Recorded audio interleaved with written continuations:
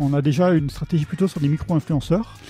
Bon, déjà, on est sur un marché qui, euh, a une partie technique, donc euh, euh, qui n'est pas forcément le marché le plus grand public. Et l'autre point, c'est que les micro-influenceurs ont une des communautés plus engagées. Donc ça, multiplie les contacts. C'est vrai que tu as beaucoup plus de micro-influenceurs pour avoir les mêmes résultats qu'un influenceur star. Mais par contre, leur communauté est très engagée et aussi, ils nous créent du contenu. Parce que va pas forcément faire l'influenceur star qui va créer du contenu pour son propre média, mais pas forcément pour nous.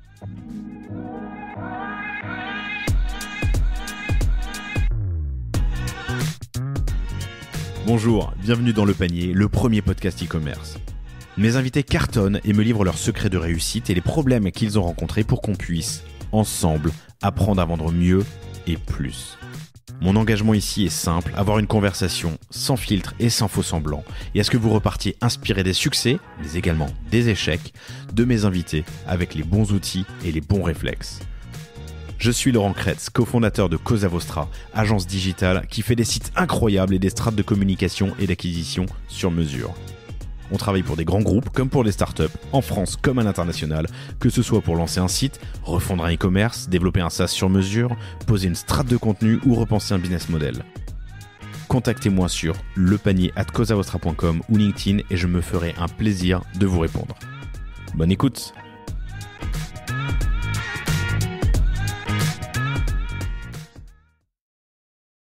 Salut à tous, j'espère que vous allez bien. Je suis assez heureux de commencer l'année. C'est mon premier enregistrement cette année, alors ça ressortira un, un peu plus tard, je vais pas dire de bêtises, mais fin janvier euh, ou courant février. Mais c'est le premier enregistrement que je fais en 2023 et je suis heureux de le faire avec toi, avec toi pardon, Cyril. Salut Cyril. Salut Laurent, merci de m'accueillir. Et surtout, bonjour à tous. Euh, j'espère que vous avez que vous allez bien. Je vous demande pas si vous avez souhaité de bonnes fêtes parce qu'en fait, euh, comme dit, cet épisode sortira un peu plus tard, donc ce sera loin derrière. Vous aurez déjà fait Dry January ou en plein Dry January et perdu les, les kilos en trop. Mais je suis heureux de vous retrouver. Euh, et je suis heureux parce qu'aujourd'hui, on va voyager un peu. Je suis un enfant, je suis, je suis, pardon, un enfant des années 80. Enfin, je suis né en 79, mais j'ai grandi avec euh, avec le Grand Bleu et j'ai toujours une passion euh, profonde pour le, le, le, la mer. Je fais un peu de plongée. Je suis pas un grand plongeur, mais je fais pas mal de de, de, de petites apnées de de touristes. Mais euh, et aujourd'hui, je reçois donc Cyril Torres, qui est directeur marketing, com de Becha et d'Aquaman. De Becha et d'Aquaman. Alors Aquaman, vous connaissez peut-être moins, mais on en parlera dans, dans quelques minutes.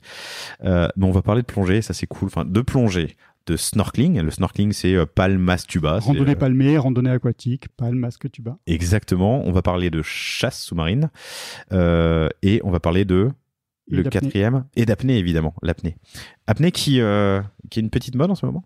Oui, il y a une tendance hein, effectivement en ce moment sur l'apnée, c'est euh, ça prend et puis ça c'est une tendance aussi qui se greffe à, à un envie de bien-être, euh, euh, yoga, méditation, apnée, tout ça c'est un courant fort qui qui va qui va bien pour tout le monde et qui est très bien pour le dry January aussi.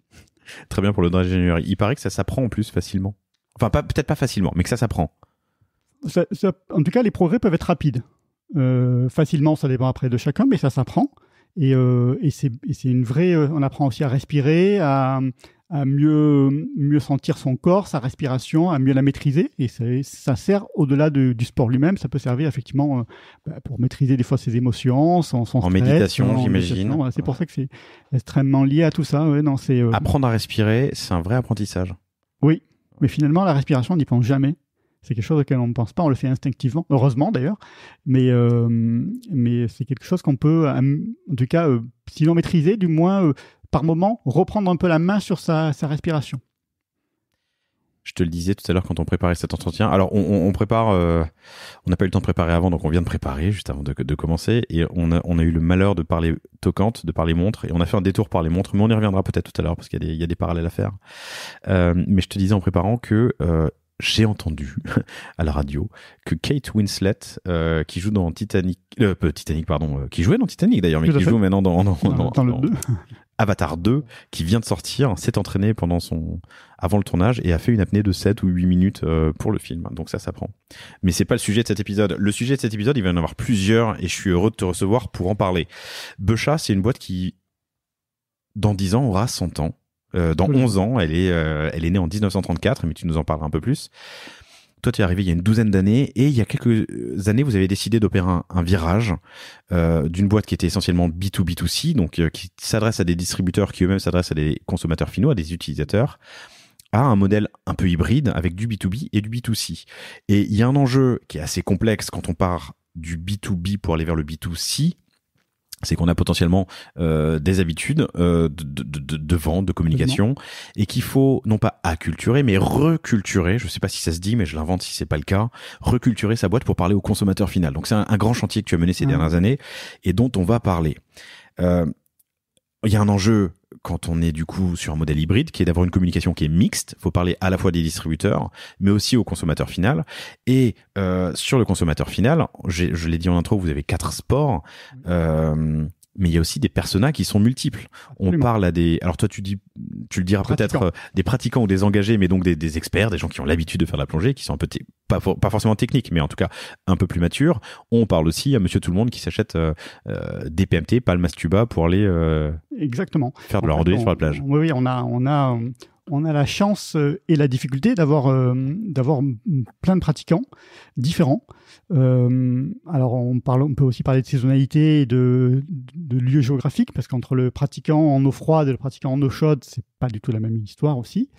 Mais si on revient au sport, on a quatre sports différents. Donc tu les as parfaitement résumés la plongée scaphandre avec bouteille, l'apnée. la randonnée aquatique ou randonnée palmée et la pêche marine. Et ces quatre sports, c'est euh, quatre pratiquants différents. Quatre pratiquants différents et certains qui ne s'entendent pas.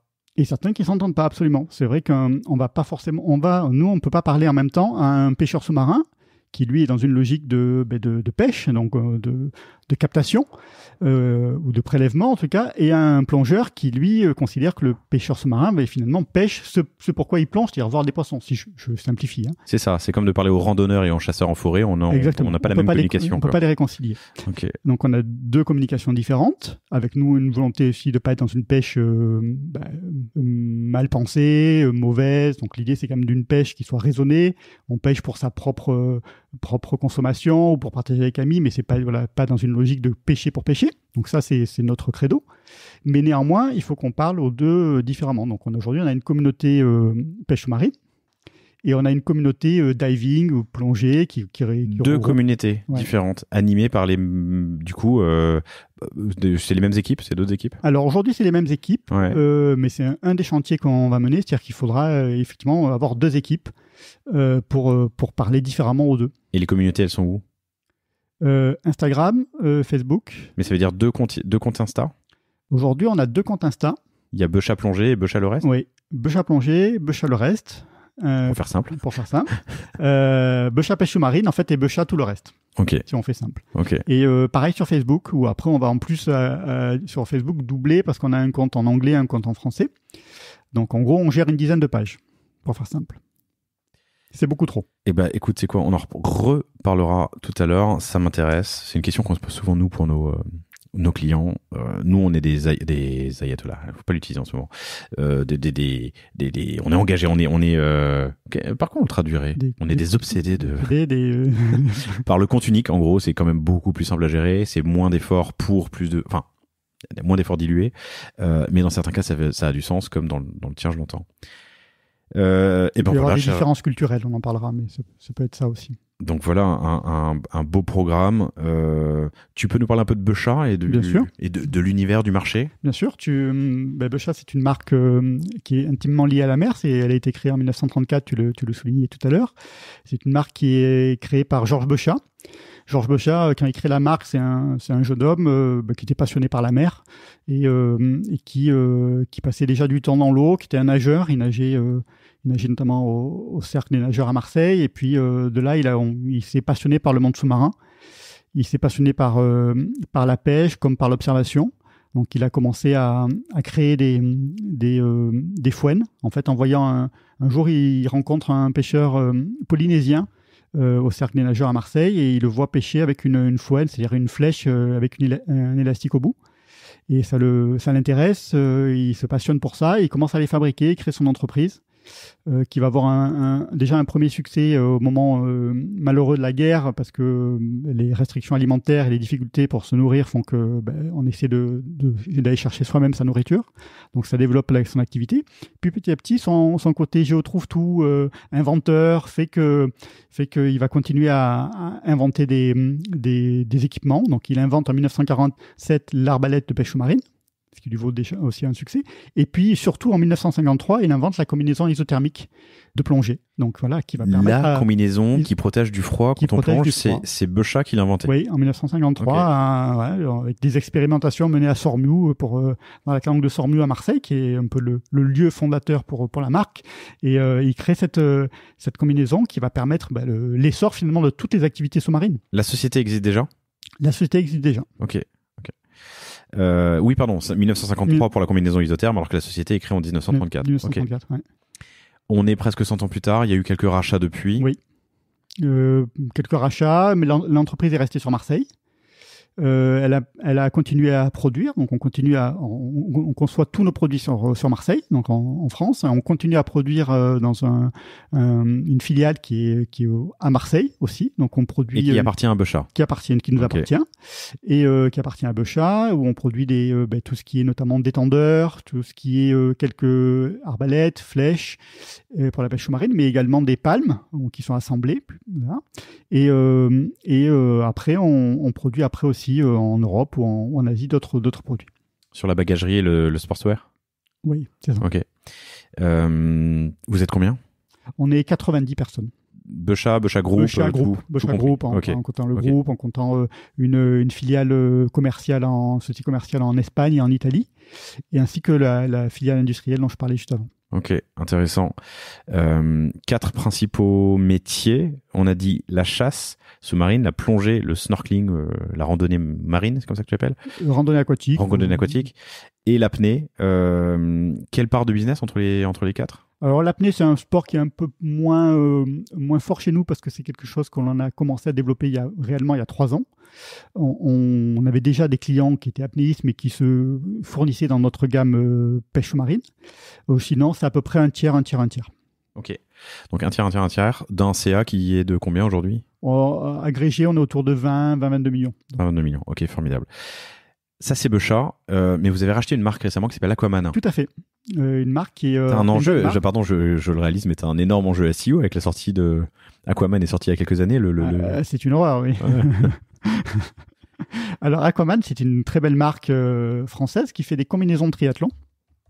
Alors qu'il y a un nom euh, qui, par contre, est pas, est pas simple en SEO, euh, qui est à la fois une force parce qu'il dit beaucoup de choses et qui est euh, aussi une, une difficulté. Et Aquaman, donc, Pa- Pardon, vous ne le, le savez pas. Voilà, je bégaye aujourd'hui. Vous ne le savez peut-être pas, chères auditrices, chers auditeurs, mais Aquaman, c'est une grosse franchise de, de je sais pas si c'est Disney ou Marvel, c'est DC, DC euh, qui est sorti. euh, Je crois que le premier épisode est sorti il y a quelques années. Ouais. Donc, pardon, une filiale qui fait du, une, une société italienne que Une vous avez société qui fait, qui fait des, des combinaisons pour le triathlon, donc pour euh, la partie nage du triathlon. Euh, le triathlon consiste en bah, commencer par euh, la- on commence par la nage, on poursuit par le vélo et on finit par la course à pied. Et donc en fait, en, en fonction des températures, on met une combinaison. Et donc euh, Aquaman fait aujourd'hui des combinaisons pour le triathlon, avec un enjeu qui nous qui est de développer la marque, euh, la faire connaître davantage à l'étranger et aussi de l'ouvrir sur d'autres sports puisque avec euh, Aquaman on va aussi développer euh, la nage outdoor qui est un, sport que la marque touchait peu mais sur lequel elle a pleinement son, rôle à jouer pleinement euh, une, une- pleine légitimité. Donc on va aller on va aller vers la nage outdoor. La société italienne que vous avez rachetée s'appelait Aquaman? Ou c'est votre non dénomination Aquaman c'est une société française qui avait euh, qui J'ai dit italien, pardon Oui. Tu, elle n'était pas italienne, la non, société elle était française. Autant pour Elle moi, euh, c'est une société qui était, euh, qui a toujours été française. Elle était en région parisienne. Autant pour moi, ouais. Et euh, non, non. Et elle s'appelait Aquaman, vous avez pas. Aquaman. Vous allez la, la rapatrier sous Beuchat Non, ça va rester Aquaman. Ça va rester Aquaman. Oui. Ça va rester Aquaman. Parce et les que le équipes, nom, en termes de synergie? euh, Les équipes, en termes de synergie, il y a des équipes commerciales qui sont purement Aquaman.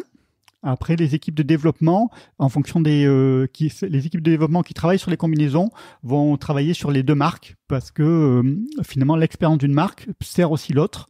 ce qui a été développé sur Aquaman aujourd'hui, ça, ben, ça amène aussi des, euh, des plus sur les combinaisons Becha. Et de même que le savoir-faire qu'ont les designers de Becha sert aujourd'hui aux, aux designers d'Aquaman. Ok, ok. Donc il y a une vraie synergie qui se crée. Par contre, on, on gardera les deux marques. Euh, On a lancé il y a quelques années une, euh, les combinaisons de triathlon sous la marque Becha, euh, une gamme qui s'appelait Kroll. euh, et euh, qui a eu un succès mitigé justement parce que la marque Becha était beaucoup moins légitime sur ce sur ce segment de marché. Donc on a on a on a arrêté ça et c'est euh, c'est un peu ce qui a donné lieu à l'acquisition aussi de la marque Aquaman euh, pour avoir une marque beaucoup plus légitime sur le marché du, du triathlon. Donc la marque Aquaman aujourd'hui est une marque euh, qui est connue en France, mais qui a aussi une, une notoriété qui certes est à développer, mais qui existe en, aux États-Unis, euh, en Australie. Donc, C'est génial comme nom. donc Et ça se protège facilement? Oui, parce qu'il y a une antériorité. On a la chance d'avoir une antériorité euh, sur euh, la classe euh, spécifique qui concerne les, les combinaisons de sport et autres. Et donc voilà, pour l'instant, ça, voilà, on a, Et on a- DC Comics, c'est pas venu vous parler euh, quand ils ont fait le film? Non. Je pense qu'on est sous les radars aussi pour eux, pour l'instant. et, euh, et on a, euh, Bah, attends, par rapport à, à leur dépôt de marque, on a une antériorité. Mais non, mais t'es pas antérieur à Aquaman. Aquaman, c'est un vieux personnage, non? Oui, mais ils n'avaient pas, ils avaient pas déposé la marque sous, ce, sous cette classe. Oui, pardon, sous cette classe, bien sûr. Euh, hyper intéressant. 90 personnes, 20, 25 millions, 22 millions de, de, de CA, un tiers sur la chasse, un tiers sur la plongée, un tiers sur le snorkeling. Oui. L'apnée est un nouveau centre de revenus, Oui, un nouvelle- nouveau business. Aujourd'hui, c'est c'est- c'est 5-10% de notre activité. ouais. Avec quel objectif? Euh, alors, l'apnée, c'est un très tendance. Euh, pour l'instant, ça reste quand même un petit marché. Euh, Il y a moins d'équipement, l'équipement est moins important qu'en plongée. Donc, euh, le, le, le- le chiffre d'affaires potentiel est moins, moins grand. L'objectif, c'est quand même de, de développer les autres. Alors, finalement, c'est que les, tout reste un peu et qu'on continue de développer, donc c'est en, en pourcentage. Mais si l'apnée, aujourd'hui, demain, pèse 15%, ça sera déjà pas mal. Ok. Pour parler un peu du marché, du contexte, euh, quel est, euh, quel est l'univers concurrentiel Qui sont les, les, les acteurs, les autres acteurs? Euh, les gros acteurs, on a, alors on a un leader mondial aujourd'hui qui est qui est Aqualung, qui est une société qui, qui pèse énormément sur le marché puisque elle pèse pratiquement euh, 30-40% du marché global, Ok, qui est estimé à combien? Qui est estimé alors en valeur euh, de, ses- de, de revente hein, autour d'un milliard. Un milliard en valeur de revente euh, vers le consommateur, sachant que dans cette partie-là, on prend pas le snorkeling qui est beaucoup plus difficile à estimer parce que euh, il est vendu dans des, la GSA, dans de la GSS. euh, il y a des pays où il est vendu dans des stations-service. bien sûr, les plagistes en vendent aussi. Donc, on- le snorkeling est finalement beaucoup plus important que tout ça. Mais on a beaucoup plus de mal à l'estimer Ok.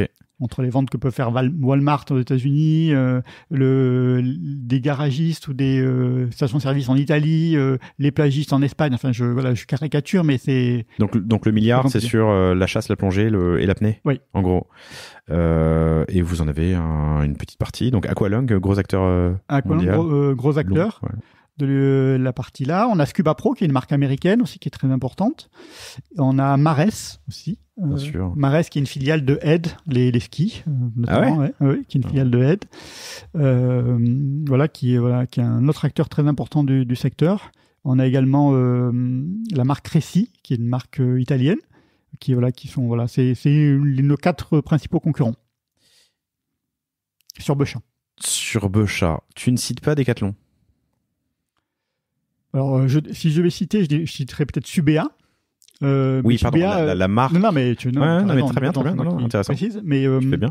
euh, mais ça reste une vision pour l'instant très française euh, et, et espagnole, enfin assez euh, européenne. Euh, la, la concurrence aujourd'hui de Subea, elle est, euh, nous, par exemple, je te disais tout à l'heure avant, quand on préparait le, podcast, nous sommes très forts en, France, en Espagne, sur la, au Maghreb, donc on va dire sur l'arc méditerranéen. Nous sommes aussi très forts en Océanie. On est très fort dans certains pays de l'Est, voilà, et par exemple, Decathlon n'est pas du tout présent en Océanie. Ok. Donc c'est voilà. Mais après, oui, par contre, en France, c'est une concurrence très forte sur, euh, alors, en particulier sur le snorkeling. Ok, intéressant. Euh, ta présence internationale, tu alors, peux on est préciser présent dans 90 pays. Ok. Euh, avec euh, des, euh, des forces, enfin des positions concurrentielles différentes. hein. En France, on, on est leader sur l'ensemble des, des sports, c'est-à-dire que si on agrège l'ensemble des sports, on sommes leader. Au niveau mondial, on est leader en pêche marine. Donc c'est nous le numéro un de la pêche sous-marine au, monde. Euh, après, on est, on est, voilà, on est la marque leader en, Nouvelle-Zélande. Euh, et après, on a des pays où on est présent, mais on est beaucoup moins fort. Les États-Unis, par exemple, on, fait un peu de business, mais globalement, c'est pas un pays où on est très fort. Et alors, les pays de, de, la, de la chasse, de l'apnée, de la plongée, du, du snorkeling. Enfin, le snorkeling, j'imagine que c'est difficile à quantifier, mais les pays de la plongée, c'est quoi? Alors, les pays les, les, plus importants en plongée, c'est les États-Unis. Les États-Unis reste de toute façon le, pays numéro un en plongée. Euh, États-Unis, euh, après on a euh, le, Japon, l'Allemagne, la France, euh, voilà, tout ça c'est des pays très forts en plongée. Puis après on a aussi des pays de, qui sont forts parce que c'est des destinations plongées. La Thaïlande, les Philippines, voilà, c'est l'Indonésie. Voilà, c'est là, c'est plus des pays de destination plongée. Mais du coup, sur ton persona ou sur ton acheteur final, j'imagine que c'est pas les mêmes. un pays de destination plongée, c'est un distributeur, alors qu'un pays de plongée, c'est peut-être le consommateur final? Oui, c'est pas le même. Effectivement, en destination plongée, il y a, en fait, il y en a deux personas. On va avoir le persona, euh, par exemple, euh, le français euh, urbain, qui lui va aller plonger essentiellement en voyage. Donc en fait, lui, il plonge très peu localement. son, plaisir à lui, c'est de dire voilà, demain je pars en, Indonésie, je vais faire une plongée en Indonésie. Donc lui, c'est un persona. Par contre, on va avoir aussi en persona différent, c'est le qui va être euh, qu'on va utiliser plus dans les finalités plus B2B commerciales, qui est le, le, centre de ou le resort ou le centre en Indonésie, si je prends le même pays de destination, qui lui va acheter du matériel pour euh, pour prêter, pour louer euh, à celui qui vient plonger chez lui. Donc là, on est dans un modèle plus B2B. Et euh, dans les plongeurs, tu as différents niveaux. Alors, tu as d'engagement, de seniorité, de maturité, on, peut le dire comme on veut, mais il y a le touriste et le. Le, je, je, dirais pas le touriste, mais il y, a le, néophyte, on va dire. Il y a le, le, plongeur doute, le plongeur doute et le. Il y a le, il y a le plongeur, euh, oui, tout à fait. Il y a le plongeur euh, euh, bah, qui commence, on va dire, hein, qui débute, voilà, et qui se forme, ou, ou, qui plonge de manière très très occasionnelle et qui du coup et pas dans une il va pas forcément acquérir euh, un niveau euh, plus fort, voilà, et qui passe pas forcément des niveaux, parce qu'il y a après il y a des niveaux en différents organismes, la, la Fédé en France ou PADI ou SDI à l'international. et après il y a le plongeur très expert qui lui est plonge, on va dire, on peut qualifier de plongeur autonome, sans, sans parler des, des niveaux professionnels. Hein. donc un plongeur autonome qui lui ben, peut plonger seul, voilà, et sans avoir un encadrement. Pour les, Donc, nous, ce qu'on va, on va pas avoir des personnages spécifiques sur, tous ces niveaux. Ça, c'est plutôt quelque chose qu'on va traiter au niveau des gammes produits. Donc ça, c'est plutôt notre, euh, structure de gamme produit. Au niveau des personas, on s'est concentré, de par la, multiplicité des, des, des, cas, euh, moi j'ai fait le choix de nous concentrer sur des personas plutôt de comportement. Euh, donc on va avoir, pour exemple, celui dont on parlait tout à l'heure, c'est un personnage qu'on utilise chez nous, c'est le plongeur voyageur.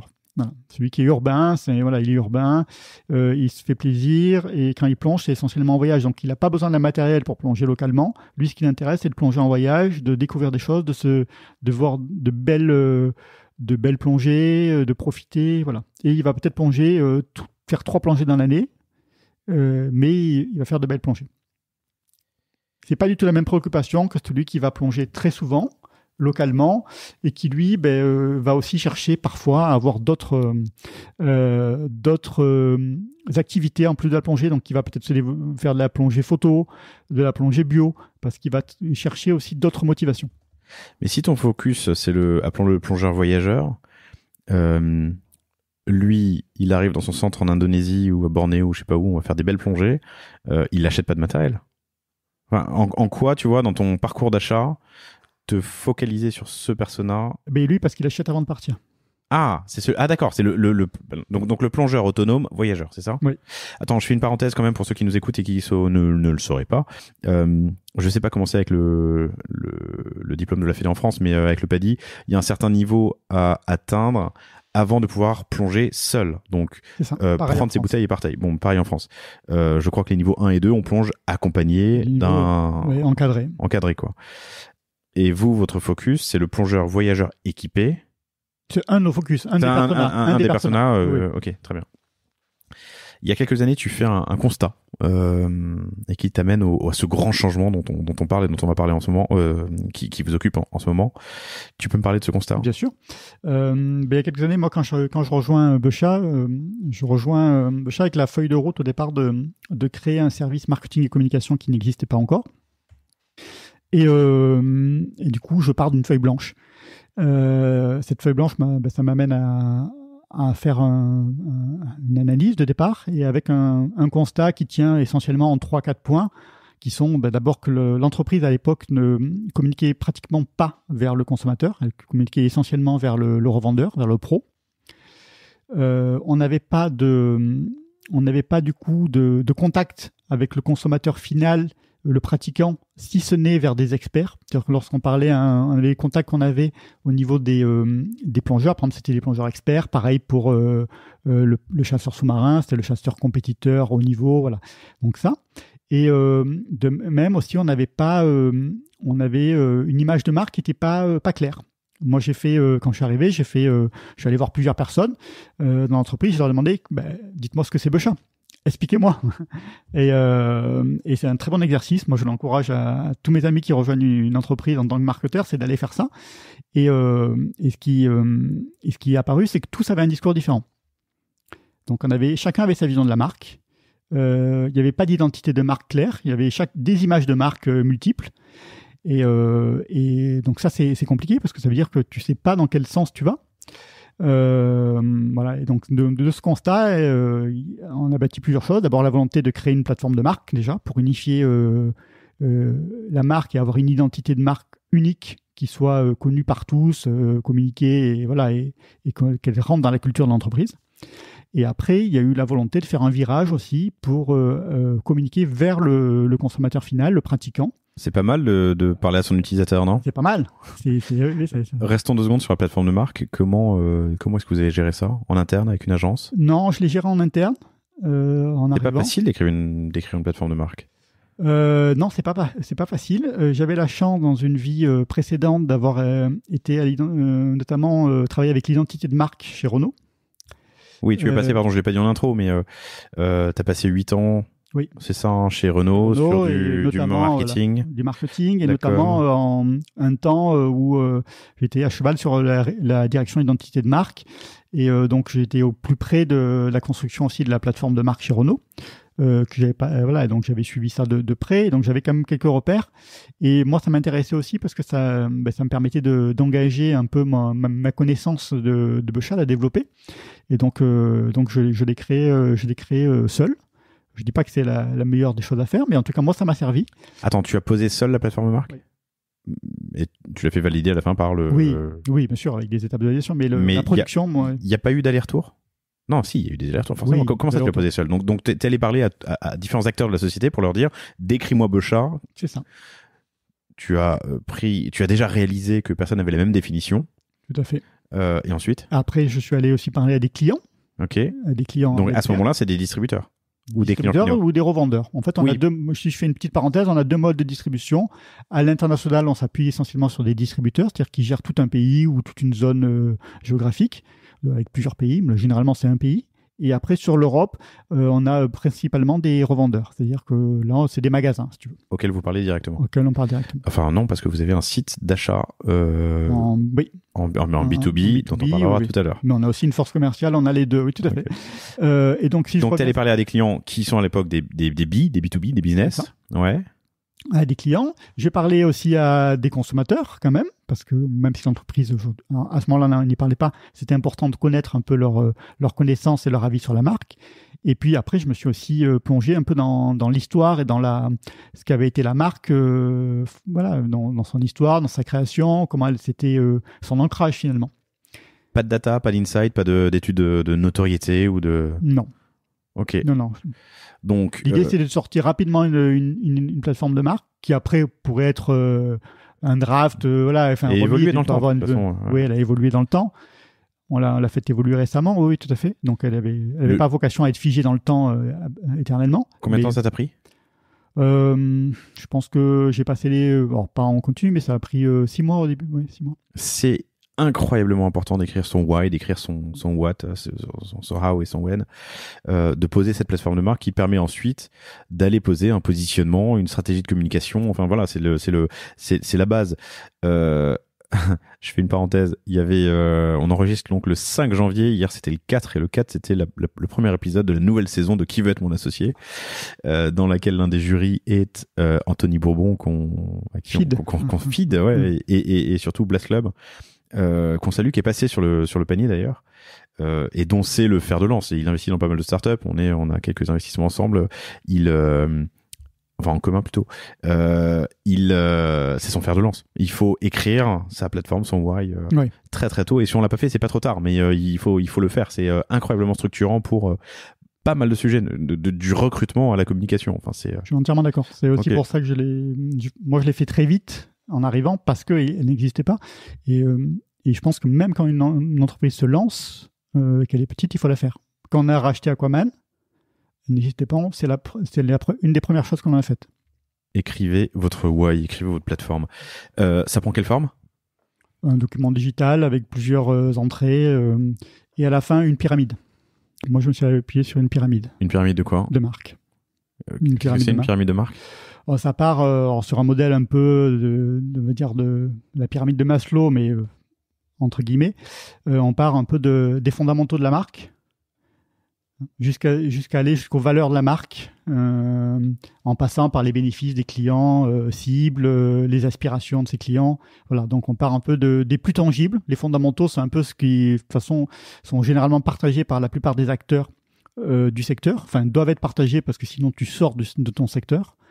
Et on va petit à petit vers ce qui va définir le plus finement la marque et la distinguer des autres. On arrive quelque part au why après. Donc tu arrives à un document euh, digital, trois pages ou 150 Non, euh, je crois qu'il y avait 12 pages, quelque chose comme ça. Ouais. Euh, L'enjeu, et c'est un truc qu'on voit chez nos clients, euh, euh, et qu'on qu qu règle évidemment, mais l'enjeu ensuite, alors déjà c'est de le faire valider. Euh, alors pas validé au sens j'ai le droit de le publier, validé au sens on est d'accord, on est aligné, c'est ça qui va nous servir de base, de socle pour les 3, 5, 10, 15 années à venir. Euh, donc ça, j'imagine que si c'est en circuit court, euh, ça peut se faire assez oui, facilement. Oui, un peu plus simple. Ouais. Moi, j'étais en circuit court, c'était plus simple. Il fallait surtout que le, le président, le directeur général soit d'accord, euh, partage cette vision. Donc ça, c'était là. Et finalement, c'est l'avantage aussi d'une PME, c'est que tu peux avoir des circuits courts sur, ces, euh, sur ce type de, de documents de travail ça c'est le premier enjeu. Le deuxième enjeu est évidemment de le faire connaître à tous. Euh, il faut que ça rentre dans la culture. Avant de reculturer, on en parle dans un instant, mais euh, il faut que ça rentre dans la culture. Comment t'as fait? 90 personnes avec différents différents différents personnages d'ailleurs différentes oui, typologies de euh, différentes comment dire relations à la marque. Et euh, ancienneté, et puis euh, des gens qui sont à l'usine et des gens qui sont euh, sur de la production, des gens qui sont beaucoup plus liés à ce que alors, les gens de la production sont extrêmement liés à ce qui fait le produit, mais ils sont moins acteurs sur euh, sur ce que va devenir la marque. C'est pas eux qui vont parler de la marque en extérieur, par exemple, à l'inverse des commerciaux.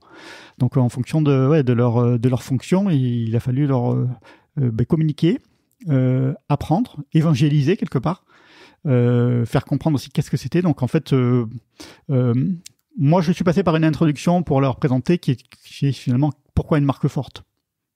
Je suis passé presque d'un, c'est presque un, un, extrait de cours de marketing pour leur faire comprendre l'importance d'avoir une marque forte et qu'est-ce que ça pouvait leur apporter à eux et que pour une marque avoir une marque forte, il faut déjà que notre notre vision soit unie ou unifiée.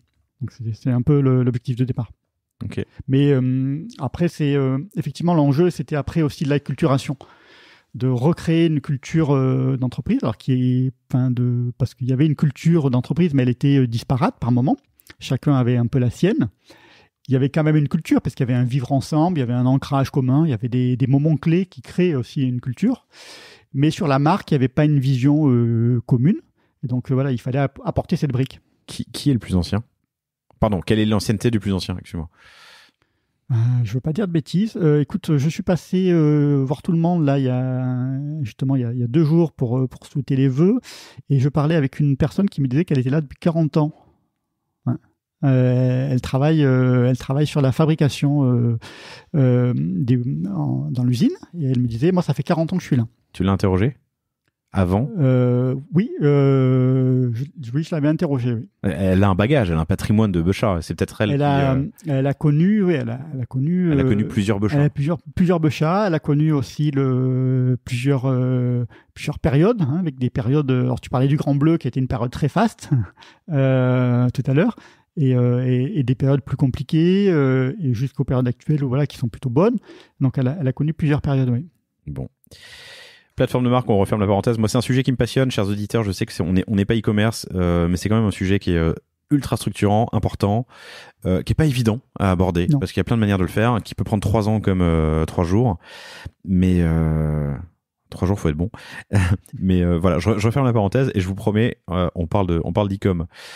Et pour y venir, bah son, ton constat c'était donc qu'il manquait cette euh, unité, alignement de la communication et de la compréhension de la société, et, et aussi que vous parliez essentiellement aux revendeurs, aux spécialistes, au, au, au, côté business finalement. On avait un côté dans le B2B2C qui était le modèle, on, a, on parlait qu'au B et on ne parlait pas aussi. Et euh, donc, euh, alors que c'est lui qui va sous l'eau avec euh, la combinaison, le masque, le tuba ou le. C'est lui, c'est pour ça qu'on parle de pratiquant. C'est lui qui pratique, c'est lui qui va prendre le produit, qui va, euh, au sens latin du terme, consommer le produit, c'est-à-dire l'utiliser, voilà, le, euh, l'user aussi. Mais euh, c'est lui qui va avoir l'expérience avec le produit. Et lui, on, on, on s'adressait pas à lui.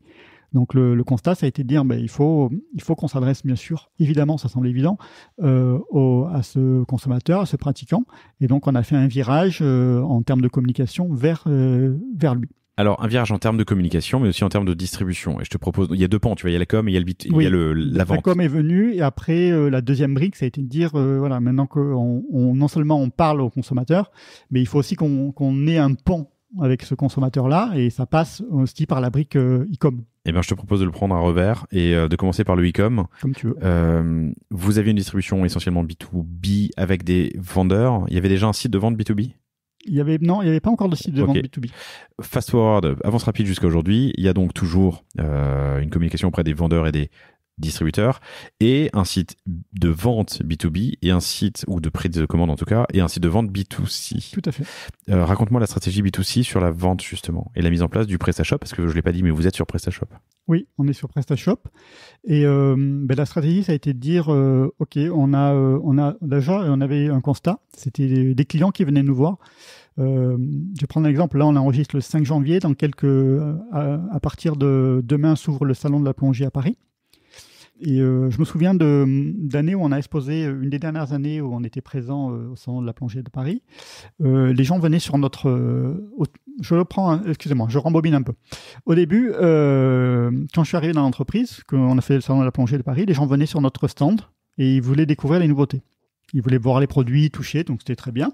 On expliquait les produits, on pouvait, on avait un contact avec les, les, les consommateurs, on discutait, on apprenait, ils apprenaient, c'était top.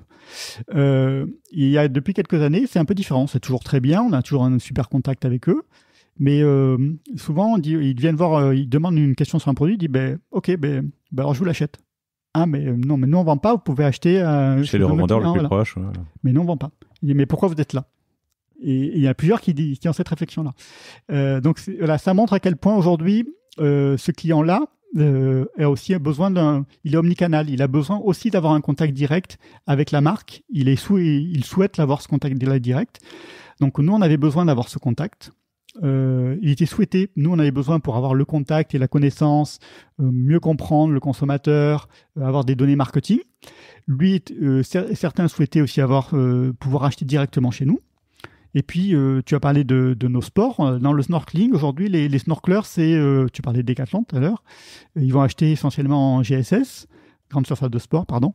Mais par contre, ils vont très peu dans les magasins spécialisés où nous, on a principalement notre distribution. Ça veut dire que du coup, nos produits étaient peu visibles. Donc, on avait aussi besoin de rendre ces produits accessibles. Donc, ça, c'est aussi l'autre enjeu de la, de la brique e-commerce. Donc notre stratégie, ça a été de, dire, OK, euh, on a un, un, une question de, faire un virage du B2B, 2C au B2B et B2C.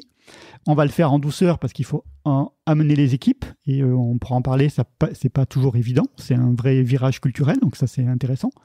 Et euh, mais du coup on l'a fait en, un peu en, deux périodes. D'abord on a mis en place tout le catalogue sur notre PrestaShop et on a aussi ouvert une partie petit à petit du catalogue à la vente. Donc on a du dupliqué ce catalogue-là. ce qui n'est pas très bon en termes de SEO, mais on a dupliqué ça. Mais ça c'était bien en termes de diplomatie, on va dire. Et, euh, et puis aujourd'hui, si on accélère, aujourd'hui on a l'ensemble de notre catalogue qui est accessible directement, c'est-à-dire qu'on a fusionné les deux. Aujourd'hui, un produit sur notre site, on peut très bien le voir, aller trouver un revendeur euh, ou l'acheter, comme on peut le commander en direct. Pourquoi PrestaShop? Alors PrestaShop, pourquoi? Euh, Parce que c'était une solution open source sur laquelle on avait, nous, on a, on a surchargé pas mal d'optimisation, de, personnalisation, d'optimisation qui nous, qui nous importait. Et puis, euh, c'était une solution française aussi et qui nous permettait de gérer un gros catalogue de produits parce qu'on a aujourd'hui euh, à peu près 4000 références. Ok, oui. très bien. Tu as dit, alors pardon, cet, épisode, je, euh, PrestaShop est un, partenaire euh, régulier du, du podcast, mais cet épisode n'est pas euh, proposé par PrestaShop. Tu as dit donc en deux temps, dans un temps il y avait le catalogue disponible pour consultation et certains produits en, shop, donc dans deux parties du site différentes, et ensuite une migration full euh, shop. tu, tu, tu l'as dit, hein, c'est une politique et puis de de d'acculturation, de, diplomatie.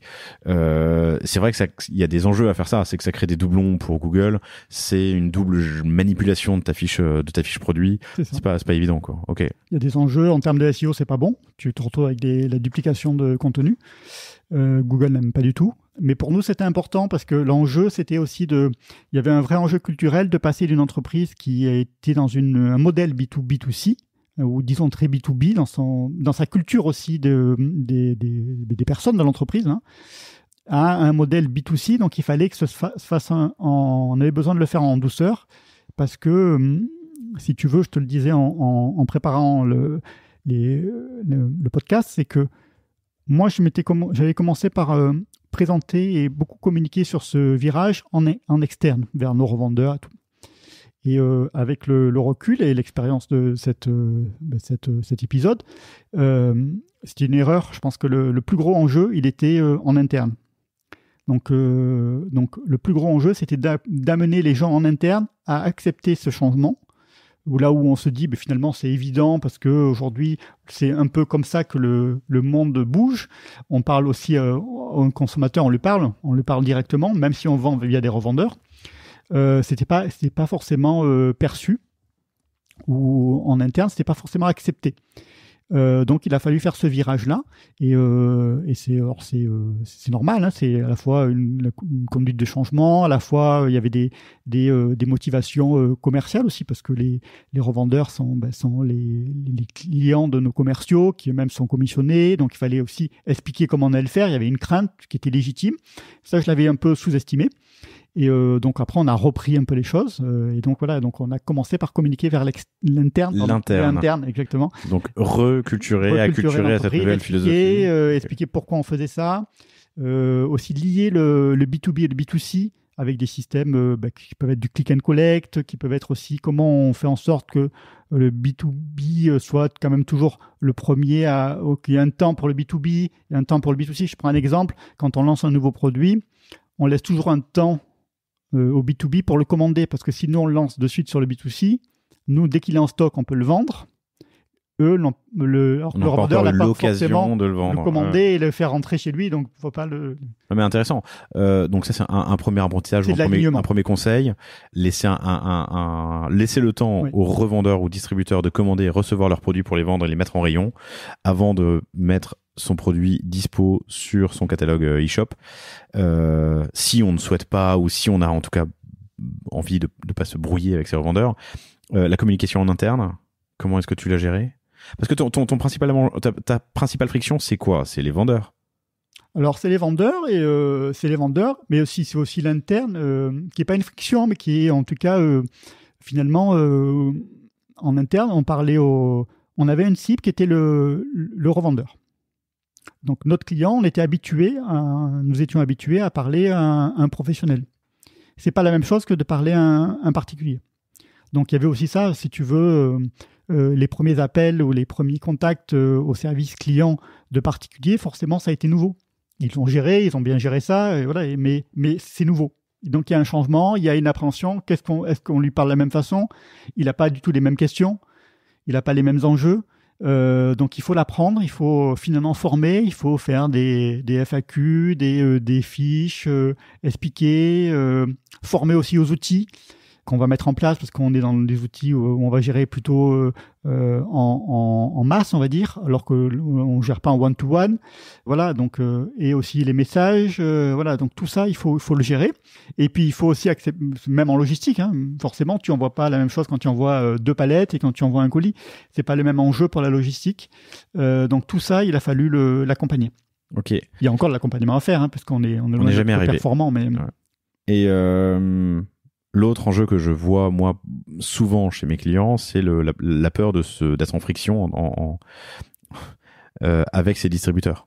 Euh, comment est-ce que eux l'ont pris? Comment est-ce qu'ils ont vu arriver le digital? Vous avez 300 points de vente en France, hein, tu m'as dit. En France, on a 300 points de vente. Ouais. Euh, on, sur la France, oui. Ils l'ont pris avec. alors certains l'ont très bien pris parce que certains étaient déjà présents dans le digital et considéraient que la marque avait tout à fait sa place d'y être. Ils avaient, après, ils avaient des questions qui étaient tout à fait légitimes, c'est des questions d'alignement, euh, politique prix, politique commerciale, euh, promotion, etc. Tout à fait légitime, euh, ça c'est normal, ça se comprend. après, il y en a qui l'ont moins accepté, aussi parce qu'ils se disaient que on, on, finalement on leur faisait une, une concurrence quelque part, tu le disais en introduction, je pense que du coup, c'est plus simple des fois de partir du B2C et d'ajouter une brique B2B que faire l'inverse parce que justement, tu n'as pas ces éléments-là. Je l'ai pas dit en introduction, je oui, l'ai dit pardon, en préparer l'entretien, mais du coup, non, mais c'est la question que j'allais te poser ensuite.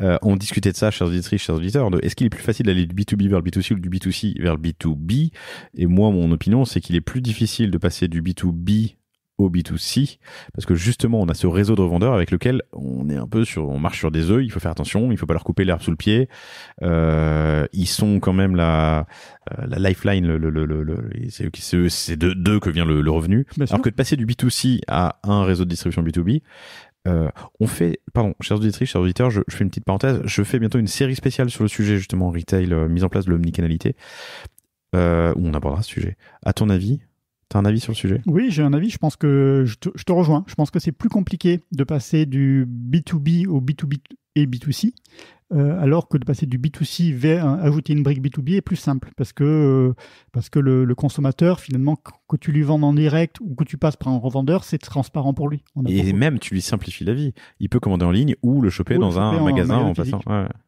Oui. Après, pour nous, l'enjeu est pas de pour être clair, nous, l'enjeu, c'est pas de remplacer les, les, euh, les revendeurs. C'est dire, voilà, les revendeurs, au contraire, il faut qu'ils soient forts. On a besoin de revendeurs euh, forts, euh, financièrement stables et tout. Ça, c'est essentiel parce que ça passera aussi par nous. On a aussi des produits euh, pour partie technique qui nécessitent de, de l'entretien, des révisions et tout. Donc, le, le, réseau de revendeurs est essentiel. Il y a aussi une part de conseils qui peuvent délivrer, des faire essayer. Le but, c'est comment on peut construire ensemble pour développer à la fois la partie mortard et la partie clic, si je parle à l'ancienne. Comment Donc on parle des revendeurs euh, et quid des distributeurs? Le site vend à l'international ou vend que en France? Pour l'instant, on vend en Europe. En Europe. Et tu as des distributeurs en Europe ou tu n'as que des revendeurs? J'ai quelques distributeurs. Et alors, comment est-ce que tu gères ça avec eux? Est-ce que eux-mêmes font de la vente en ligne? Euh, eux font de, certains font de la vente en ligne. Ouais. Euh, Aujourd'hui, c'est un peu géré par des contrats de distribution. Euh, voilà, on a aussi certains contrats de distribution qui nous excluent de la vente en ligne en direct. Le, le, les vrais points de friction, pour tout te dire, c'est parfois sur Amazon, parce que même si on vend parfois sur un pays à, via Amazon, Amazon via cette vente vend aussi parfois à d'autres pays, ce qui crée, peut créer des frictions à ce moment-là avec des distributeurs, puisque ils se retrouvent en, en, concurrence sur Amazon.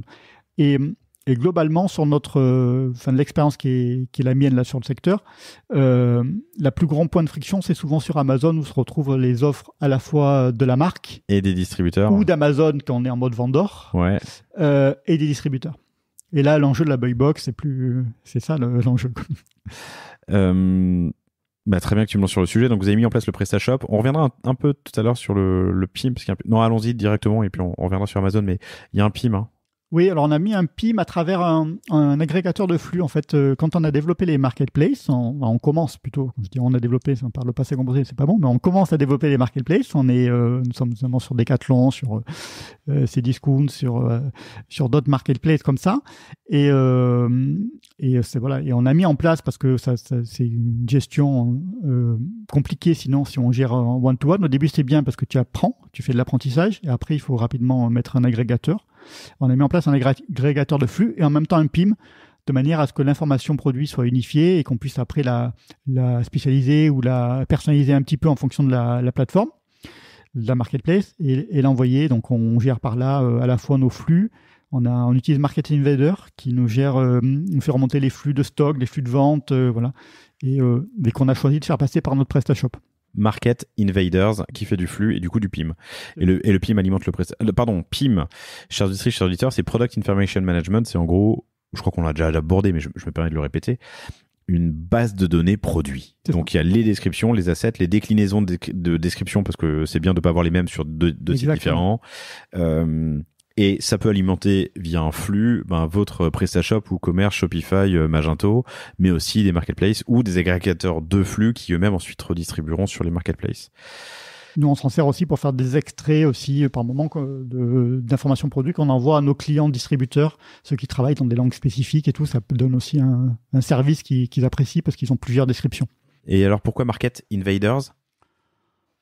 Parce qu'on les avait rencontrés, on avait aimé leurs solutions et, euh, et je t'avoue qu'on n'a pas forcément beaucoup mis en concurrence parce que ça correspondait à, à ce qu'on voulait. Ils avaient tous les points euh, qu'on attendait et, euh, et, ils avaient la, ils étaient proches géographiquement, donc ils avaient aussi cette réactivité qu'on attendait. Euh, ils, sont, ils sont en France et Ils sont, ils sont en France, ils sont à Aix-en-Provence. Ah très proche. Et, euh, et donc, on, on, a, on a fait avec eux. Euh, ils avaient aussi un module qui était compatible PrestaShop. Donc, ils avaient, euh, donc on pouvait faire un pontage assez rapide. Et, euh, ils ont accepté euh, ce qu'on leur a proposé parce qu'on a, on a, on a voulu, comme on était aussi un peu en période de, test sur les marketplaces à ce moment-là, on voulait pas faire un investissement lourd.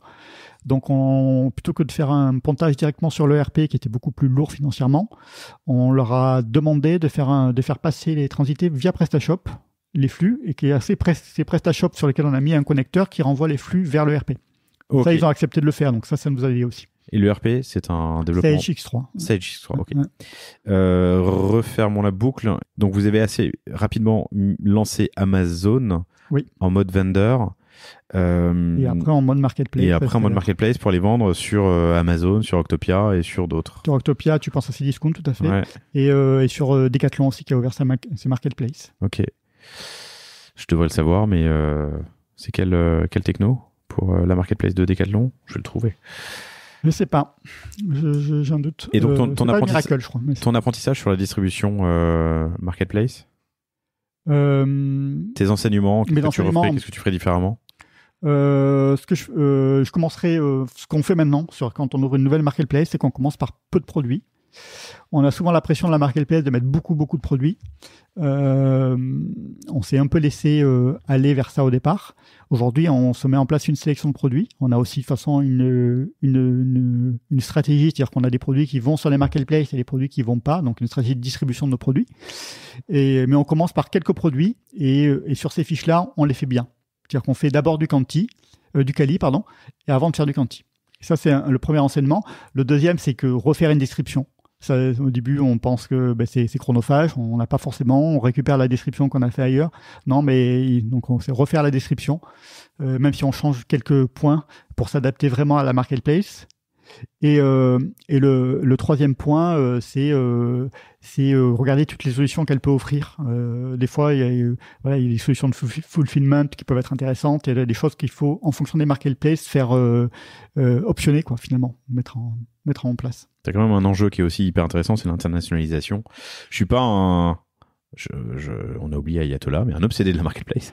mais c'est quand même un moyen assez facile de s'internationaliser euh, plus rapidement sur les zones où on n'est pas forcément présent. Euh, et puis surtout, euh, tu as quoi 35, 30, 35 millions de visiteurs, je crois, unique en France. oui. Et j'avais vu une stat 6, 6 Américains sur 10, je crois, sont, sont sur Prime. Et surtout, tu as des habitudes de consommation qui changent. Il y a maintenant, quand on veut chercher une information, on va sur Google. Quand on veut chercher un produit, on va sur Amazon. Exactement. Par défaut. Donc c'est intéressant de se poser la question. Ça, c'est extrêmement important aujourd'hui. Notre enjeu, euh, c'est euh, sur Amazon, il est double. Euh, Amazon, on va vendre des produits, mais quelque part, notre premier enjeu, ça devient d'avoir aussi des fiches qui soient euh, attractives parce que c'est la, description produit que vont utiliser nos consommateurs, nos pratiquants pour s'informer sur le produit, même s'ils n'achèteront pas sur Amazon. Ils peuvent acheter dans, du, dans le physique, ils peuvent acheter sur un autre site, mais ils vont passer sur Amazon. C'est déjà le cas euh, sur tous nos sports, en tout cas aux États-Unis, c'est déjà le cas. Ils sont majoritairement Amazon qui est utilisé, et ça devient le cas aussi en Europe. Et l'autre point sur les marketplaces qui est important pour nous, c'est que ça nous permet de maîtriser les prix. Ce qui n'est pas le cas quand on vend à Amazon Vendor. Et Oui. ça, c'est un enjeu aussi de notre alignement avec notre réseau B2B, c'est de ne pas avoir des dérives de prix, dire voilà, le prix qu'on dit, euh, euh, sur lequel on s'en- on s'engage à vendre nos produits vers le consommateur final, on peut le respecter via, via les marketplaces. Amazon Vendor, Amazon Seller, on est vendeur ou on est soi-même acteur de, en gros, de son, de catalogue. Euh, J'avais une discussion hyper intéressante hier avec Pauline et Flore de La Bonne Brosse. Oui. Euh, C'est une- tu épisode que j'ai écouté, oui. ah, Ouais. bien, hein Ah, étonnant, ouais. Elles font un truc étonnant. incroyable. Et il y a eu une croissance, alors je j'ai pas le droit de le dire, mais euh, elles ont fait une belle année. Euh, mieux que prévu, disons. Euh, si vous l'avez pas écouté, je vous invite à l'écouter. C'est un super épisode. Euh, comment vendre un monoproduit ultra haut de gamme. C'est une, une brosse qui fait du bien aux cheveux et du bien à la tête et du bien au moral, du coup. Euh, la bonne brosse, fondée par Flore et Pauline, lancée cette année en 2022, enfin l'année dernière en 2022. Et on avait cette discussion. Elles sont sur un produit haut de gamme sans antériorité, c'est un produit nouveau, et elles se distribuent dans des points de vente un peu haut de gamme. Le Bon Coin, le Bon, Bon marché. le bon marché, pardon. Euh, elles viennent de rentrer chez Harrods à Lyon, à, à- à Londres.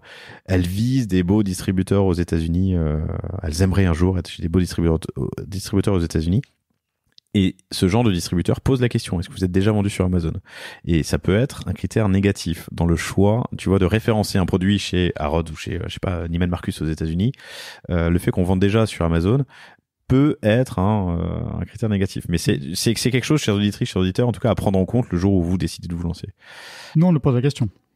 Clairement, sur des nouveaux distributeurs, c'est une question qui nous pose. Ah et alors? On a ouvert un distributeur au Japon. Ouais. On a changé de distributeur au Japon. C'est une des premières questions qu'il nous a posées. Et il est allé vérifier aussi qu'est-ce qu'on vendait et à quel prix on le vendait. C'est un premier enjeu pour lui Amazon. Mais quelle, quelle, quelle conclusion, quelle décision il en, il en tire? Hum, il en tire que euh, nous, ça va parce que sur Amazon, en- au Japon, on n'est pas du tout présent. Euh, mais euh, clairement, c'était pour lui un enjeu de choix d'aller ou pas aller avec la marque. Il, est, avait plusieurs marques qu'il est- qui, qui souhaitait, enfin, qui, sur lesquelles il a envisagé de prendre la distribution. Euh, il était, euh, il était un peu en réflexion et, euh, et clairement, ça aurait été un c'était rédhibitoire si nous, on- nous, étions vendeurs sur Amazon Japon Ensuite, t'es Beuchat. T'es le leader mondial de de la pêche sous-marine. la pêche marine. Euh, un des leaders euh, de la, la plongée. lui, il gagne à te référencer, même si c'est déjà sur Amazon. Pour une Oui. marque, mon point est suivant, pour une marque qui est plus jeune, qui a moins de notoriété, euh, ils pourraient dire non, ils auraient pu dire non. Tu as raison. Mais après, c'est l'histoire du poil à gratter. Le poil à gratter, c'est pas grave, mais ça agace. Et euh, en fait, ils y passent tellement de temps de ce qu'on entend hein, sur Amazon avec des problématiques de prix, parce que euh, euh, en l'occurrence, lui, c'est un distributeur spécialisé dans le monde sous-marin, donc il, est notamment distributeur de Santo, par exemple, et d'autres marques. Il passe tellement de temps à gérer des problématiques d'alignement prix que finalement, ça devient un point de stress et trop chronophage pour lui, pour ses équipes. Donc, il, il essaie d'écarter. Intéressant. Et j'avais jamais entendu cette, euh, cette histoire du poil à gratter. C'est pas grave, mais ça agace. Je sais pas si c'est la meilleure des métaphores. Non, elle est bonne, elle me va. Euh, c'est le caillou dans la palme. C'est pas grave, Ça. mais ça agace. voilà, on, là, là, on est, on, dans la on- on est dans l'univers. Euh, quelques échanges sur PrestaShop. Ça fait combien de temps? Euh, je veux pas te dire de bêtises. euh, Je crois qu'on a, on a commencé à utiliser PrestaShop en 2000, euh, 2017, je crois. 2017. Euh, On est aujourd'hui, on est en version 1, sur Bocha, on est en version 1.6. vous avez prévu de passer. euh, On n'a pas envie de passer à 1.7. Pour l'instant, on a gardé un peu longtemps la version 1.6 parce qu'on l'avait surchargé, comme je disais tout à l'heure, en optimisation, en personnalisation. Et donc, c'était euh, passer à 1.7, ça veut dire tout refaire. hmm. Donc, on attendait un petit peu. Et, euh, Et pour puis, restaurer euh, sur PrestaShop? on restera sur PrestaShop pour différentes raisons. D'abord parce que sur Aquaman, on a, on est en train de refaire le site là qui va sortir. Peut-être qu'il sortira, où on sortira l'épisode, il sera sorti. Et on est en 1.7 et PrestaShop. Et t'as deux PrestaShop séparés ou c'est un seul Et- back-end? Non, c'est deux, deux séparés. de séparés Ok. Voilà, mais on veut justement par rapport à l'utilisation par les équipes, que ce soit en termes d'équipe marketing ou d'équipe euh, euh, service client, service après-vente, que ce soit les mêmes, euh, les mêmes back-office, euh, enfin les mêmes principes en back-office. Donc euh, on les deux seront sur PrestaShop. Et euh, l'internationalisation sur PrestaShop, euh, tu as. euh, On, est- on a cinq langues en, sur Bocha. ouais. On aura deux langues sur Aquaman. Et sur Bocha, on a cinq langues le français, l'anglais, l'italien, l'espagnol et l'allemand. Et tes produits ou tes personnalisations produits sont juste des traductions ou c'est X catalogues différents? Les, les- Mm, Tous les produits sont disponibles partout, tu as compris la question? J'ai compris la question. Euh, c'est des traductions. La seule chose, c'est qu'on ne distribue pas la pêche sous-marine en Allemagne. Et du coup. Donc on n'a pas de, de gamme pêche sous-marine qui est accessible sur le site ouais, allemand. et dans, je crois que dans PrestaShop, c'est assez simple, tu fermes le Oui, produit, enfin, il n'est pas disponible. La sur- catégorie, tu fermes la catégorie. Donc elle est pas visible. Elle n'est pas visible. Pourquoi euh, faire ça et pas plutôt la rendre visible mais non commandable? Ou, ou tu vois avec un lien store locator? Parce qu'en Allemagne, la pêche sous-marine, est, euh, tu n'as pas le droit de la pratiquer sur le territoire allemand. Ah bon? Euh, Tu peux en acheter. Mais du coup, ça n'a pas forcément bonne presse. Donc on, on l'a on l'a fermé puisqu'on ne faisait pas de... On savait pas d'intérêt. On avait plus d'effets négatifs que d'effets positifs. D'accord.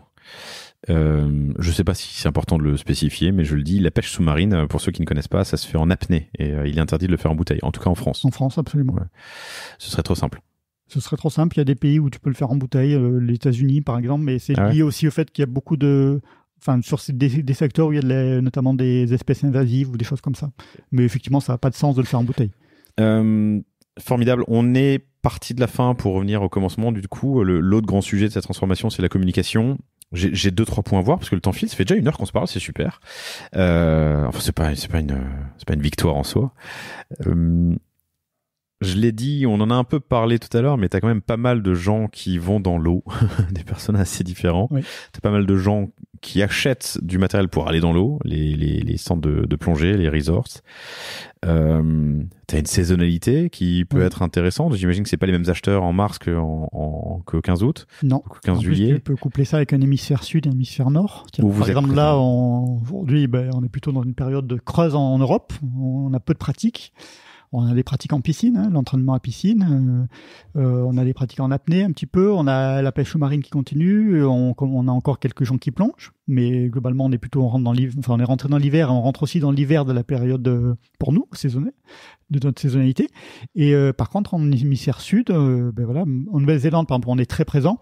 En hémisphère sud, en- c'est le- c'est l'été et en ce moment, c'est une période très, très importante pour notre distributeur. Ok. Et du coup, une communication qui est assez complexe parce qu'il faut communiquer. On l'a dit, user-centric, c'est un peu le sujet de cet épisode. Il faut communiquer auprès de l'utilisateur final, du, du, du, du plongeur. Comment tu l'as dit? Du pratiquant. Du pratiquant, tout Pratiquant, simplement. ouais. Mais sur différents sports, des sports qui se parlent pas. Tu gères plusieurs communautés et plein de comptes Instagram. Euh, c'est un sacré enjeu. Vous êtes combien à la com? On est quatre. Ok. On est quatre. Une, une personne qui, euh, qui s'occupe plutôt de la partie euh, web marketing, fiche produit, SEO, puisqu'il y a une personne qui s'occupe du SEO en interne. Euh, après, on a une personne qui s'occupe plutôt de la communication, réseaux sociaux et euh, plus particulièrement d'Aquaman. Et puis, nous sommes en train de recruter une personne qui va s'occuper de la création de contenu euh, et aussi qui va reprendre une partie des, des communautés. Puisque, comme je te disais, l'objectif, c'était aussi de scinder les responsabilités ou le community management de- des deux communautés. le, d'un côté, la, la pêche sous-marine et de l'autre, la plongée, l'apnée et la, la randonnée aquatique. Ok. Euh, intéressant la saisonnalité avec euh, deux hémisphères. C'est cool. tu vois, on en a parlé Non, avec Snow cool Leader, on en a que- parlé avec Kabaya, euh, euh, qui, alors je sais pas comment il l'aborde aujourd'hui. Il faudrait qu'on fasse un, un deuxième catch-up. Je sais plus, vous me direz, chers auditeurs, mais euh, quand on s'est croisé la première fois, ils étaient que en France ou en Europe, on va dire, l'hiver, euh, et ils vendaient principalement des bonnets. Euh, c'est chiant le reste de l'année, quoi. Là, le, le fait d'avoir deux hémisphères, c'est intéressant. Ah oui, non, là pour nous c'est intéressant parce que hum, ça permet d'avoir un, bah, une activité qui est déjà beaucoup plus lissée. Euh, et euh, par contre, l'enjeu de ce côté-là, c'est effectivement d'avoir une communication qui soit qui soit adéquate.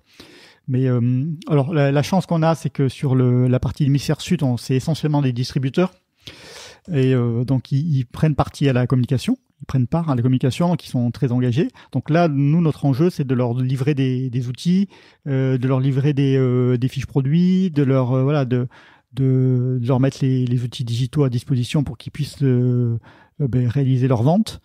Donc, donc ça, ça va. Heureusement, on a ça. Par contre, effectivement, il faut, il faut, il faut gérer cette saisonnalité et aussi des fois ce décalage, parce qu'un produit qui est nouveau, euh, les nouveaux produits, nous on les sort euh, en, octobre, on les présente à nos commerciaux. Euh, les nouveaux produits qui sortent en octobre seront en hémisphère sud que l'année prochaine, parce qu'il y a un décalage de commande. Évidemment, bah oui, bien sûr, c'est ça. Ok temps de livraison et autres. Donc, juste pour prendre un peu de hauteur avant de rentrer dans le, dans le détail sur trois petits points, j'ai envie de parler d'influence de, de, de, de, Netflix, vous avez sponsorisé un film, oui. et d'une collaboration avec Christian Dior, avec Dior Couture. Un, un, petit point prise de hauteur, juste pour comprendre ton persona. Donc aujourd'hui, avant vous avez une communication revendeur, euh, aujourd'hui vous avez une communication user-centric, euh, oui. pratiquant, mais, mais du coup, euh, comme l'acte d'achat peut se faire à, plein d'endroits ou l'acte de location du coup euh, puisque chez, chez des chez des chez des dans des centres. C'est quoi le parcours clé ou le parcours que tu imagines le parcours principal? Il doit y en avoir plusieurs bien sûr mais euh... oui le, le principal c'est euh, alors il y, en a plusieurs mais on, peut citer un, un, parcours majoritaire en plongée en tous les cas. C'est que on, on, commence déjà par euh, par faire un baptême. Donc généralement on n'a pas d'équipement euh, on vient dans le centre, euh, on, on est en voyage, en tout cas on est dans un resort ou un centre, on fait un baptême. Et là, on se, familiarise déjà un petit peu avec l'équipement, parce que le, moniteur ou la monitrice va t'expliquer comment ça se passe. Donc c'est le premier contact. Donc soit ça réussit, c'est-à-dire que ça te plaît, tu as envie de continuer. Euh, et dans ce cas-là, euh, ben, si tu continues, généralement tu vas refaire un, autre baptême commencer à passer un niveau, par exemple un niveau 1 en France. Donc ton premier euh, influenceur, c'est ton moniteur. Le moniteur, c'est le premier qui t'influence. Ça, c'est vrai dans d'autres sports, dans le tennis, dans d'autres. Finalement, le tien à côté, le moniteur, mais s'il te dit que ce matériel, c'est bien, euh, c'est euh, pour toi, c'est euh, fort et tu, tu, tu, le crois et donc tu lui fais confiance. Donc ça, ça ajoute ça. Donc nous, on a aussi un, une politique d'influence, enfin, en tout cas de, de travail. Auprès des clubs. Auprès des auprès clubs des... auprès okay. des, et auprès des moniteurs même club et moniteur. Donc ça, c'est le premier point.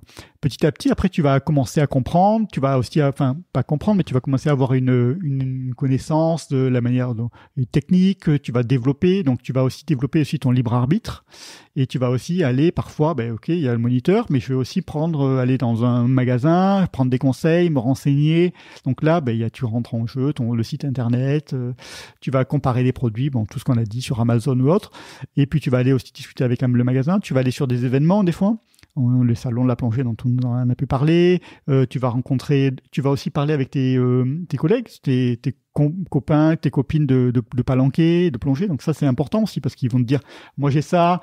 Il y a quelqu'un qui peut-être a beaucoup plus d'ancienneté ou d'expérience, tu vas l'écouter. Donc voilà. Donc finalement, tu as le monde réel et le monde digital qui sont tous les deux des, des influences.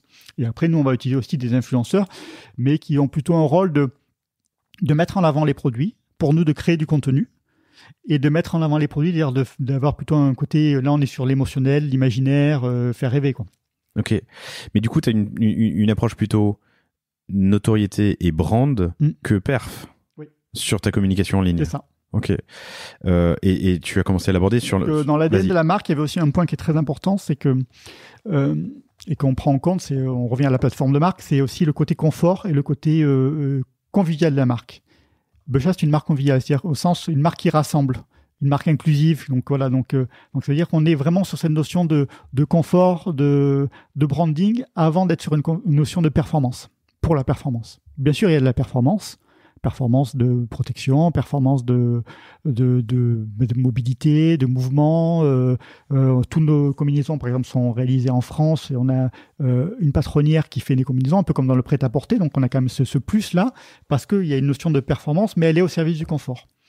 Les, quelque part, notre notre why, c'est justement ça, c'est d'être, de pouvoir que la marque se fasse oublier et que de permettre en fait au plus grand nombre de vivre des, des expériences immersive, donc de plonger dans les conditions optimales. Ok.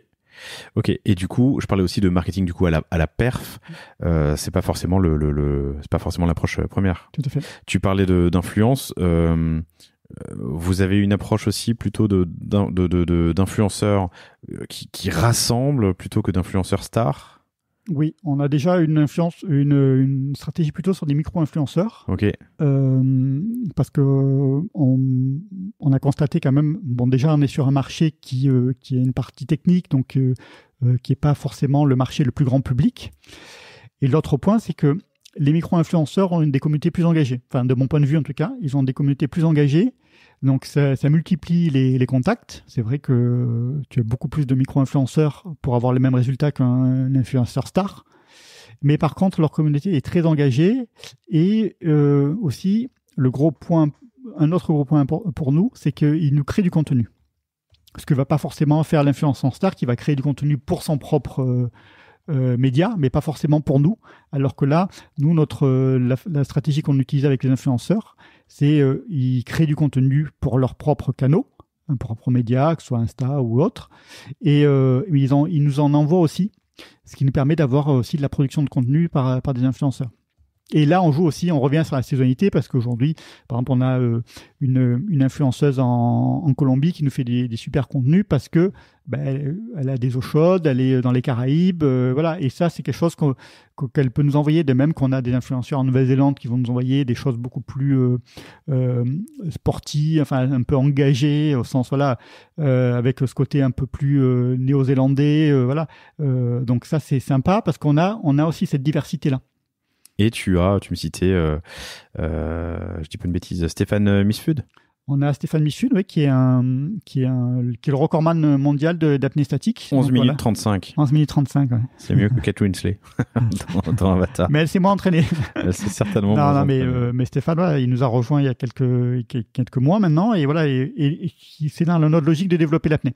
Une micro, enfin des micro-influenceurs parce que c'est ton, en tout cas ton, ta croyance, ta conviction, c'est des communautés plus engagées et qu'en plus c'est plus facile de leur demander de créer du contenu oui. qu'un influenceur star qui va être payé au poste. Euh, et voilà, et dont le but c'est pas de créer du contenu. Lui, c'est le but, c'est de. Et d'ailleurs, on l'utilise pas pour ça. On ouais. l'utilise pour euh, pour sa visibilité, pour euh, pour son exposition. Et mais je pense qu'on a plus d'engagement euh, dire, efficient sur un micro influenceur vaut mieux 10 fois 100 000 qu'une fois un million ou 10 fois 10 000 qu'une fois un million. Ok. Et en plus, tu peux créer une relation avec ton micro-influenceur. En plus, on crée des relations. On a aujourd'hui, euh, d'ailleurs, on parle, nous, pour certains, on parle maintenant d'ambassadeurs parce que ça devient des ambassadeurs, parce qu'ils portent la marque aussi, parce qu'il y a cette relation qui s'est instaurée. Je te parlais tout à l'heure de, de, Mathieu Ferreira, qui est un, un, de nos ambassadeurs ultra engagés, et voilà, qui, euh, qui va dans ce côté-là dont tu parlais, c'est-à-dire qu'on est moins sur la performance. Lui, c'est un chasseur sous-marin. On est moins sur la performance que sur le partage. Donc c'est quelqu'un qui engage, qui rassemble énormément de monde avec des actions euh, pour les personnes euh, malades, des actions pour les personnes en difficulté, les SDF et tout.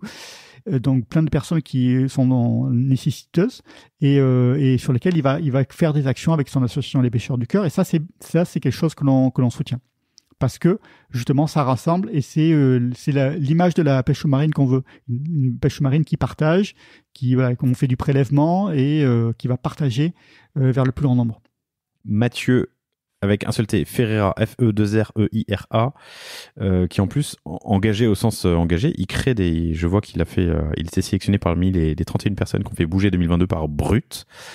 Et euh, il transforme des combinaisons de plongée usagées en tapis, de so en tapis pardon, pour les SDF. C'est bien. Pour, les, pour faire l'isolation du front. Oui. Vous avez fait une collab avec Dior et sponsorisé un film Netflix. Netflix, je pense, ça. Enfin, raconte-moi, comment on arrive à sponsoriser un film Netflix? On est producteur, c'est ça Vous avez euh... C'est le producteur qui nous contacte parce qu'il a, euh, il fait un film sur l'apnée et, euh, et qui recherche de, mais il n'a pas de d'expérience, ouais. il recherche du financement et ah. du matériel. Et de la connaissance?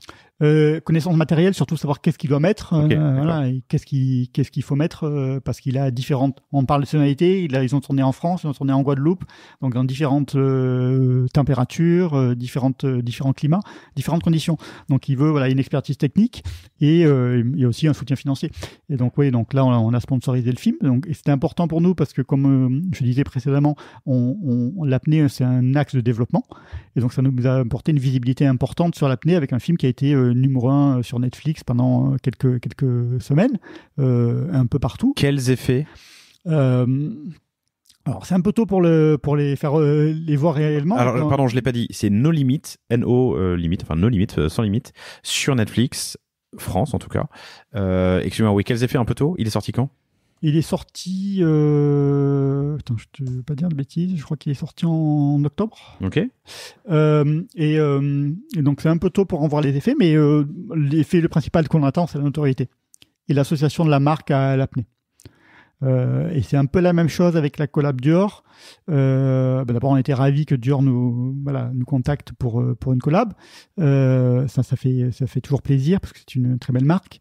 Et, l'autre effet, c'est effectivement aussi de la notoriété puisqu'on a fait une collab sur des palmes, des masques et des, tubas avec Dior. Et, et, cette collab, ça permet de, ben de rendre la marque visible aussi sur des territoires où la marque Dior est extrêmement forte et extrêmement visible et où nous, nous le sommes moins. Alors, globalement, on est moins visible que la marque Dior. Hein, je ne veux pas te raconter de bêtises. Mais euh, il y a aussi des territoires où nous, on est très peu présents. Euh, en Asie, aux États-Unis, voilà, au Japon, on, on, comme je te dis, on commence la distribution plus activement, donc on était peu présents. Et là, ce, ce, cette collaboration est extrêmement visible. Il nous a apporté beaucoup de, ben, de retours, de demandes. Euh, euh, c'est assez joli en plus. Hein, vous pouvez taper euh, Becha Dior, vous verrez, c'est un ensemble Palmas, Palmas Tuba, c'est ça? Euh, Assez esthétique. Comment on arrive à faire une collab Dior? C'est Dior qui est venu vous chercher C'est vous qui êtes allé? Euh, non, c'est eux qui sont venus chercher. C'est eux qui m'ont, ils m'ont contacté. En fait, c'est une personne de Dior qui était euh, dans mon réseau qui m'a contacté au départ. Et euh, c'est comme ça que ça, on a commencé à discuter. Et, et ça s'est fait avec beaucoup de, bah de, d'échanges et de bienveillance. Ouais. Dior, si vous voulez faire une collab avec Cosa Vostra, je sais pas ce qu'on peut faire, mais on va trouver. appelez-moi. cool. Bah Cyril, c'était passionnant. On a abordé plein de points. Euh, J'espère, chers auditeurs, chers auditrices, chers auditeurs, pardon, que cet épisode vous a, vous a plu. Ça t'a plu? Oui, beaucoup. J'espère également que ça a plu aux auditeurs et auditrices. Merci infiniment. Euh, vous pourrez retrouver euh, bah, Becha sur évidemment sur sur internet et dans tous les les bons euh, réseaux de distribution euh, et revendeurs. Vous retrouverez surtout Cyril Torres Théo de Théo 2 R pardon ES sur LinkedIn oui. et à Marseille puisque Becha, je sais pas si on l'a dit, mais on a parlé du cercle des nageurs de, de oui, Marseille. Mais... Marque, Marse, une marque qui a été fondée à Marseille et qui depuis est toujours installée sur Marseille. C'est ça, Marseille bébé, mmh. euh, où on a de plus en plus de collaborateurs que, que j'embrasse ici, hein, Mathieu, euh, Maxime pardon et, et Malix si vous m'écoutez, euh, sont installés à Marseille bien, ah, bien. Et adorent. Euh, Chers auditrices, chers auditeurs, merci infiniment euh, de nous avoir écoutés. Cyril, merci pour ton temps, ta patience et ton et tu, surtout ta transparence, c'était passionnant. Merci à toi Laurent pour ton et, accueil et tes questions bienveillantes. Merci et beaucoup. je te souhaite une bonne fin de journée, je vous souhaite à tous une excellente journée ou fin de journée et je vous dis à bientôt. Salut. Bonne journée à tous. Merci d'avoir écouté cet épisode du panier jusqu'au bout, j'espère qu'il vous a plu. Si c'est le cas, abonnez-vous pour ne rater aucun épisode, parlez-en autour de vous et surtout laissez-moi une note et un commentaire 5 étoiles sur Apple Podcast. N'hésitez pas non plus à le partager à chacun de vos amis dans le business, chaque nouvel auditeur est une victoire. Si vous avez besoin de lancer ou refondre votre site internet, de créer un Shopify ou un WooCommerce, de performer avec une stratégie de contenu efficace, n'hésitez pas à me contacter à l'adresse lepanier@cosavostra.com. On se fera un plaisir de vous répondre. Et enfin, et surtout, inscrivez-vous à la newsletter du panier sur lepanier.io. À bientôt pour un prochain épisode.